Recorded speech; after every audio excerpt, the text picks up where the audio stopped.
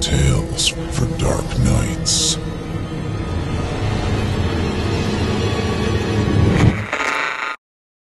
Nola. Written by Anton Scheller. Performed by Jordan Lester. Stein scrambled out of his room into the living room and then behind the couch that I was sitting on. I noticed he had something in his hand when he came in, but he's five now, and I thought it wouldn't be anything dangerous. I heard him playing and laughing behind me while some soap opera played on. Don't move, he said. That made me curious. I just wanted to see what he was playing with. I leaned over the back of the sofa, and he was sitting there with something white in his hand.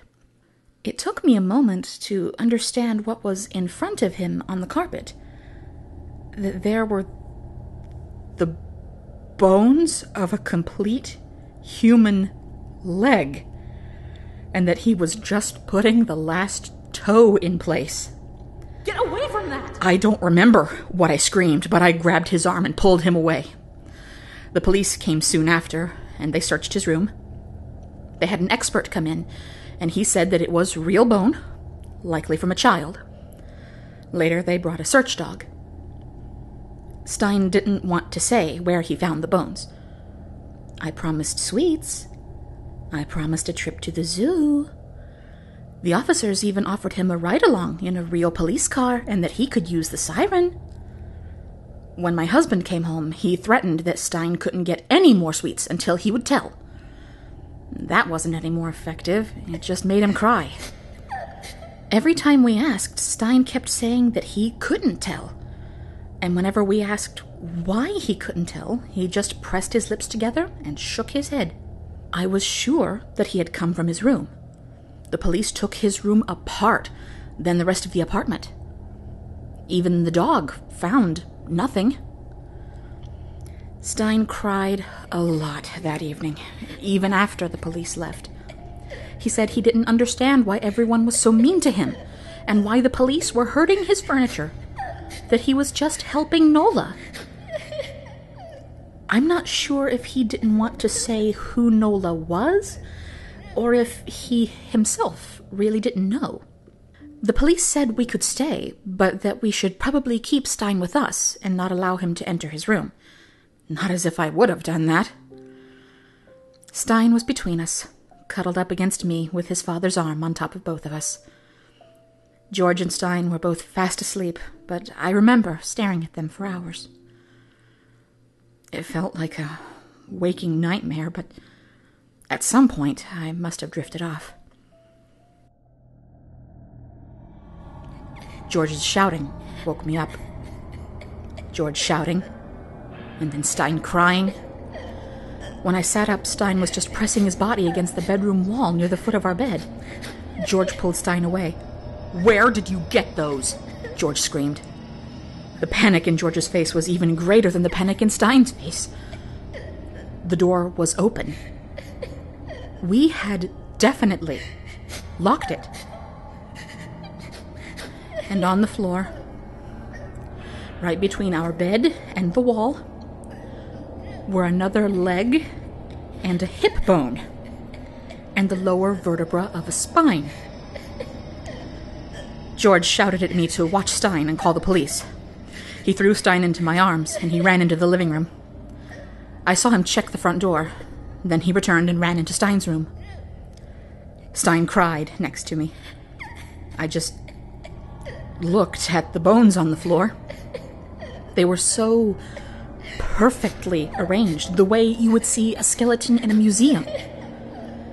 It took a while before I managed to finally grab my mobile, pull Stein close, and dial the number. George found the front door and all the windows locked. He even checked whether somebody might have gotten in through the former fireplace. But he found Stein's room open. We had definitely locked that too. Open, just like the bedroom door, but not broken into.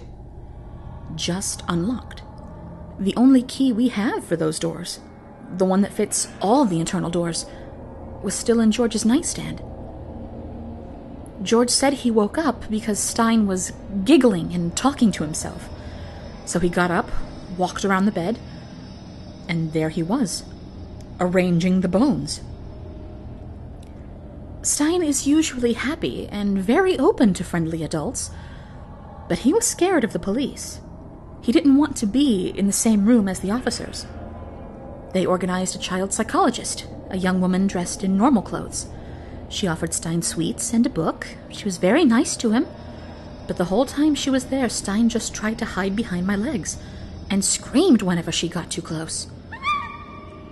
We wanted to go to a hotel, but the upstairs neighbors were awake and took us in for the night. When the police finally left us alone and the neighbors had retreated to their bedroom, Stein spoke again. He said that the police are bad people, that they hurt Nola very much and stole her leg. Still, when we asked questions about Nola or the bones, he just shook his head. Stein fell asleep on the neighbor's armchair. We decided that at least one of us should keep watch for the remainder of the night. I told George to nap first. He always gets grim and grumpy when he's tired. Then I couldn't get myself to wake him, and I just stayed awake until morning. For those three hours, I sat and watched Stein. There was nothing specific to watch, just his calm breathing and the occasional smile that hushed over his lips, until he turned so that I couldn't see his face. Despite all the commotion, I felt warm and relaxed seeing him like that.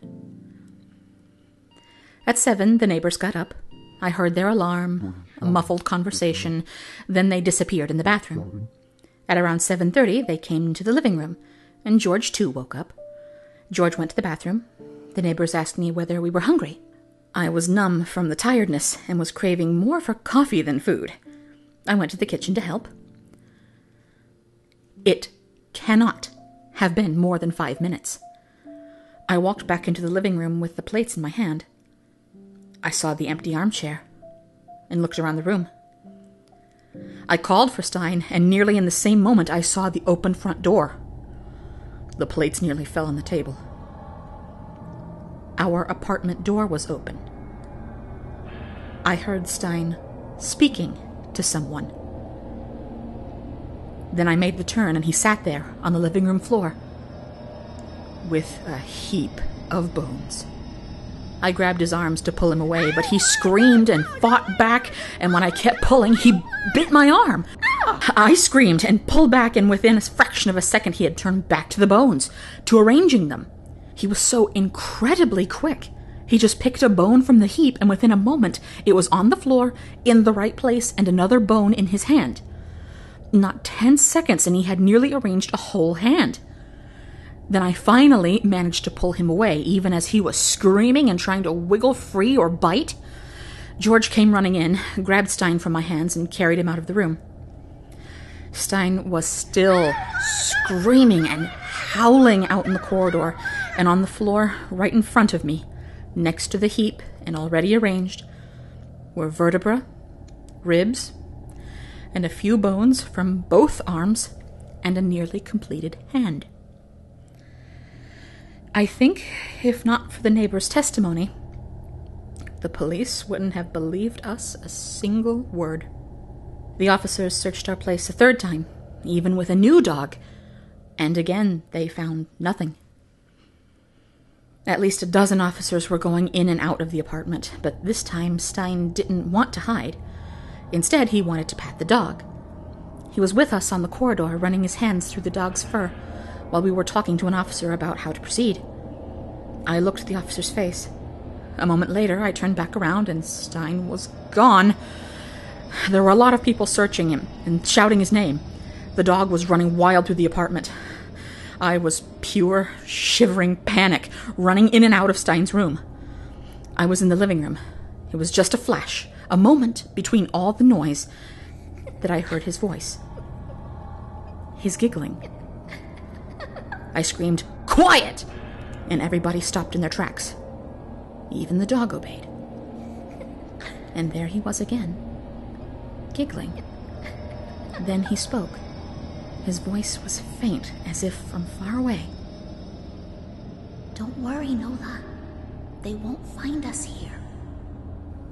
Within a few minutes, they had ripped open the fireplace, only to find nothing. George was holding me, but seeing the bare pipe and stones down there made my chest clench together. George stopped breathing too.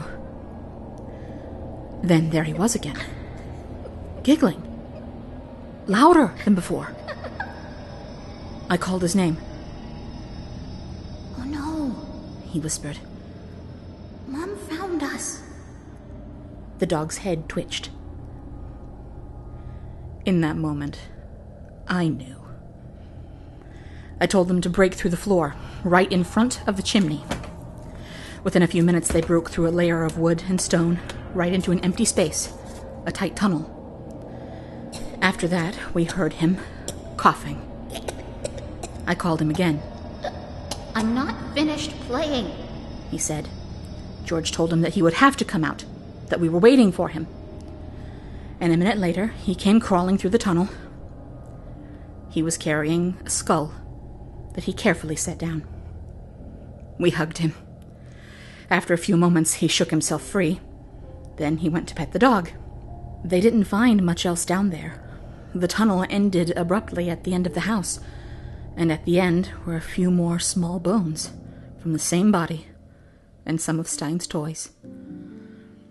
We still don't know how he got down there. He always just said that Nola let him in.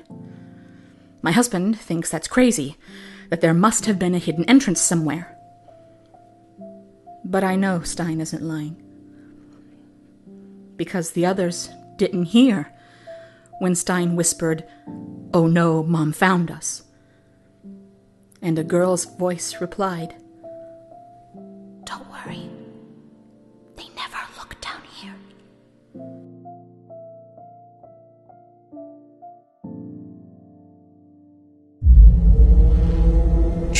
tales for dark nights.